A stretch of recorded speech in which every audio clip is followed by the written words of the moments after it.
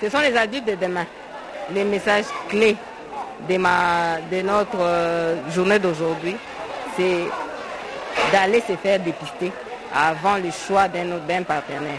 Au-delà de cette sensibilisation, la présidente de cette ONG, Germaine Anguemito, a plaidé également pour une loi de la prise en charge en faveur des enfants drépanocytaires souvent abandonnés. Ça n'est suivi une séance de questions-réponses. L'ONG Kevin dit être déterminé à poursuivre son combat jusqu'à obtenir gain de cause.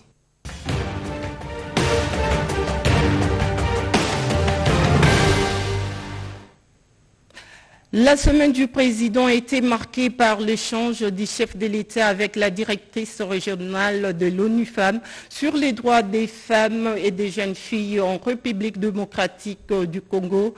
D'autres activités dans ce résumé de Kibambe La République démocratique du Congo est désormais le septième pays membre de la communauté des États de l'Afrique de l'Est. Elle rejoint au sein de cette organisation sous-régionale le Kenya, le Burundi, l'Ouganda, la Tanzanie, le Rwanda et le Soudan du Sud. L'admission de la RDC a été actée au cours du 19e sommet extraordinaire de la communauté des États de l'Afrique de l'Est qui s'est tenu le mardi 29 mars en visioconférence, sommet auquel a pris part le président de la République Félix-Antoine Tshisekedi Chilombo à partir de son cabinet de travail à la Cité de l'Union africaine. Créée en 2000, la EAC, une organisation mieux intégrée, a son siège à Dar es Salaam en Tanzanie. Elle s'est fixée entre autres objectifs de favoriser les échanges commerciaux entre les sept pays membres et de garantir la circulation de biens et de personnes. Toujours à la Cité de l'Union africaine, le président de la République président en exercice de la communauté économique des États de l'Afrique centrale, Félix Antoine Tshisekedi Chilombo a eu des échanges avec le président de la commission de la CEAC, Verissimo Gilberto da Piedade. Des questions relatives à la feuille de route du nouveau président en exercice de la CEAC étaient au centre des entretiens. À la presse, Verissimo Gilberto a déclaré que le président Félix Antoine Tshisekedi Chilombo a placé son mandat à la tête de la CAC sous le thème de l'éducation, de la culture et de la santé. La paix, la sécurité, le développement et le commerce figurent aussi parmi les priorités a renchéri le président de la commission de cette organisation sous-régionale. Au terme d'une mission de quatre jours effectuée à Kinshasa, mission au cours de laquelle elle a eu des contacts avec le gouvernement, la société civile, les organisations de femmes et les jeunes. La directrice régionale de l'ONU Femmes, Oulimata Assar, est venue faire le rapport de ces différentes rencontres au président de la République Félix-Antoine Tshisekedi Chilombo le jeudi 31 mars 2022, journée coïncidant avec la fin du mois dédié à la femme. Trois sujets essentiels étaient au centre de ces préoccupations, les droits des femmes et des jeunes filles en RDC, leur représentativité et les ressources qui leur sont allouées. La directrice régionale de l'ONU Femmes dit avoir rencontré le champion de la défense de la cause féminine, à qui elle a aussi présenté un plaidoyer en faveur de la représentation des femmes au sein des institutions. Vendredi le 1er avril 2022, le président de la République Félix Antoine Tshisekedi Chilombo a présidé en présentiel la 47e réunion du Conseil des ministres à la Cité de l'Union africaine. Cette réunion à laquelle ont pris part le Premier ministre Jean-Michel Samaloukonde et tous les membres du gouvernement présents à Kinshasa a planché sur l'état des lieux de la situation politique, sécuritaire et sociale du pays.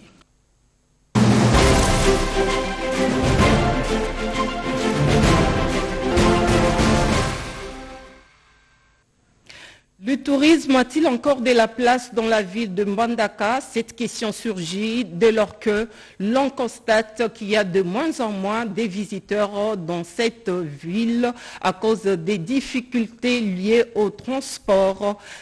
Du moins, certains sites gardent leur fonction attractive. C'est un dossier qui est proposé par notre consoeur Bobette Eyengalisamba. Ancien chef-lieu de la province de l'Équateur démembré, Mbandaka a gardé le même nom pour la nouvelle province. de l'Équateur. La ville est arrosée par le fleuve Congo et quelques rivières. Sur le plan touristique, le jardin botanique d'Eyala est un site à visiter absolument à Mbandaka. Ce patrimoine de l'Institut congolais pour la conservation de la nature qui est longé par la rivière Rouki est aussi une réserve des espèces rares des plantes, mais aussi des tourbières. nous avons toutes ces espèces végétales qui sont médicinales, elles sont toxiques alimentaire, ça dépend de l'utilisation. Il y a aussi d'autres pour les renforcements des capacités. Et là, vous êtes sous notre période. Et cette période, vous n'avez pas à demander par rapport aux athlètes touristiques parce que ça, c'est une période naturelle. Et donc, voilà, il y a beaucoup d'éléments, madame. Et là, c'est un endroit stratégique par rapport à la ville de Mbanak. Partout, vous avez trouvé avec la déforestation.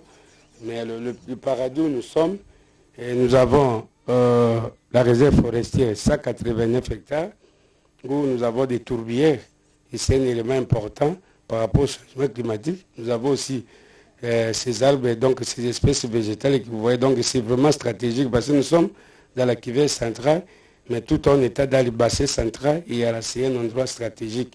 Donc ça offre beaucoup de services euh, écosystémiques dans le cadre de l'environnement, c'est. Sur l'axe routier, le monument de Mabélé Lissi témoigne de l'attachement de la population de ce coin à la mémoire de l'artiste. Masculinité militaire, les études menées dans trois zones, notamment Goma, Kichanga, Nord Kivu, à Bunya, à Nituri et à Kinshasa, démontrent que les femmes sont de plus en plus victimisées en temps de guerre. Christine Lenzo qui nous propose ce reportage.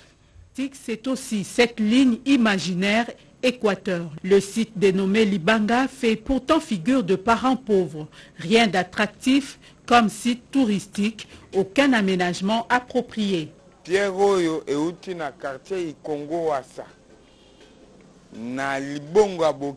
Cette pierre nous vient du quartier Ikongo-Wassa. Nos aïeux qui l'ont déposé ici, c'était en 1883. Les touristes viennent de partout pour la visiter. Nous sollicitons auprès des autorités une sécurité effective pour cette pierre.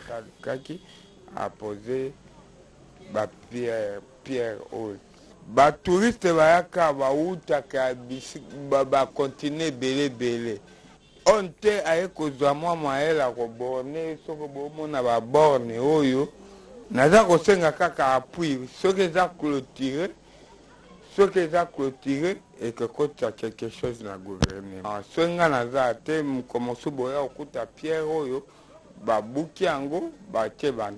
awa Mbandaka ne connaît pas d'embouteillage. La fluidité de la circulation routière s'explique par un nombre réduit de véhicules.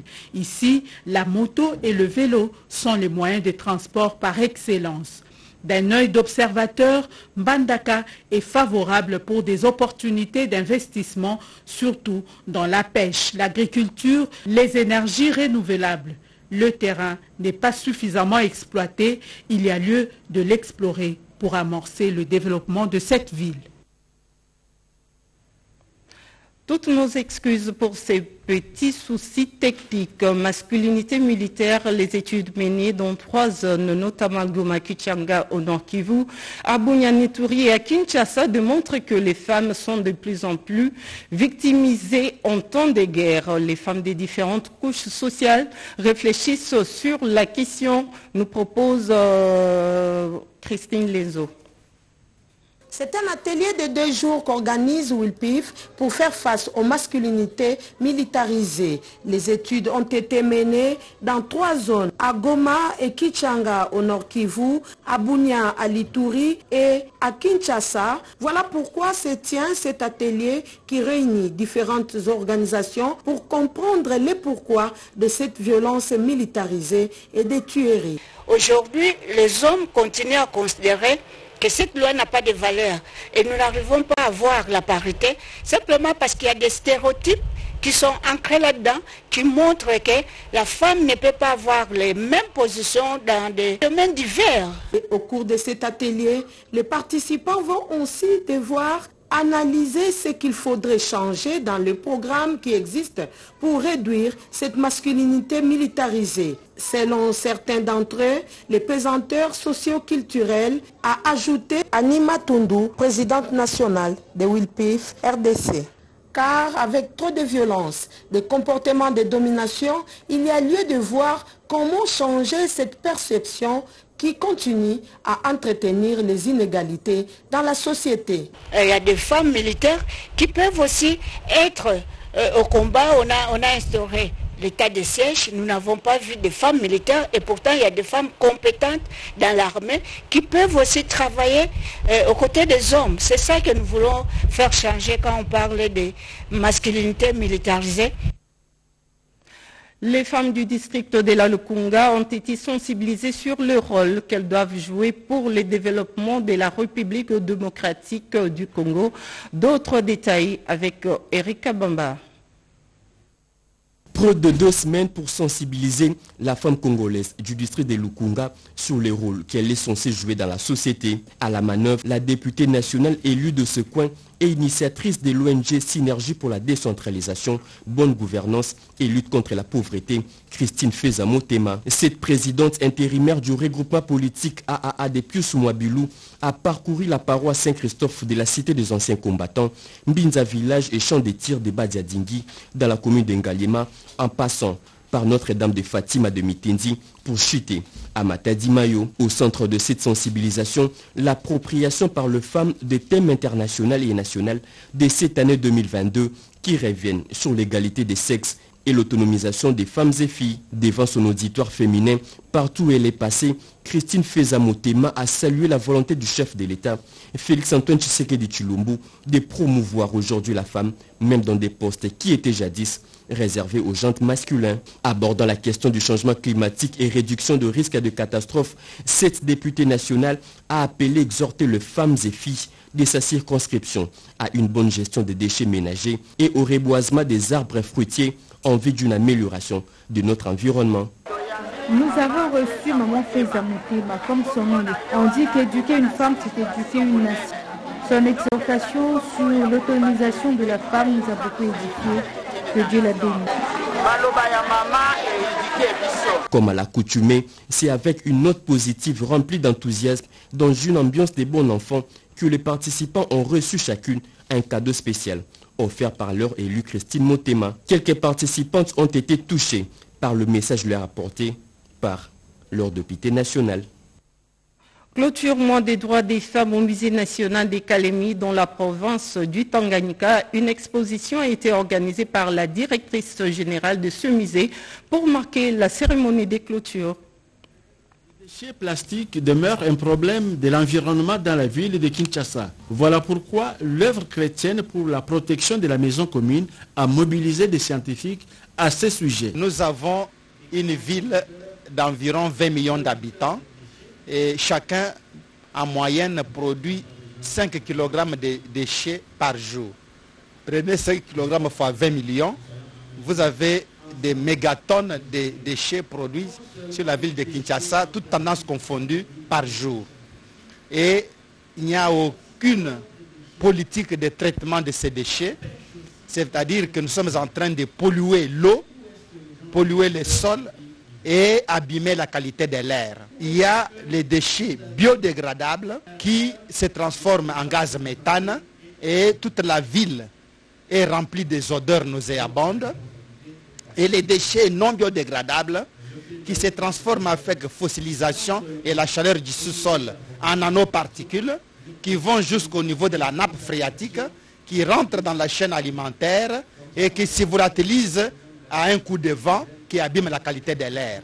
Par rapport à tout cela, nous nous, sommes dit qu'il faudra d'abord amener euh, les jeunes filles et les garçons à tenir, tenir compte, donc faire attention à ces déchets, parce que ces déchets plastiques peuvent nuire notre environnement. Cette question interpelle tous les habitants de la ville de Kinshasa. Les déchets plastiques représentent un danger pour l'environnement à Kinshasa. L'ONG œuvre chrétienne pour la protection de la maison commune a organisé une journée de sensibilisation. Retrouvons Mesdames Bouyal pour le commentaire. Clôture du mois de mars dédié à la femme ce jeudi 31 mars 2022. À cette occasion, le musée national des Calémies a ouvert un espace libre à toutes les couches féminines du Tanganyika pour visiter les œuvres historiques des cultures congolaises et également se renseigner de l'histoire de certaines figures féminines ayant été comme pionniers de certains secteurs spécifiques. Elles étaient plus d'une centaine des couches des femmes qui ont défilé tour à tour dans la salle d'exposition Samba Kayabalamoni en train de revivre les moments historiques et également se rendre compte de la vraie culture congolaise, nonobstant étouffer ses jours par la mondialisation.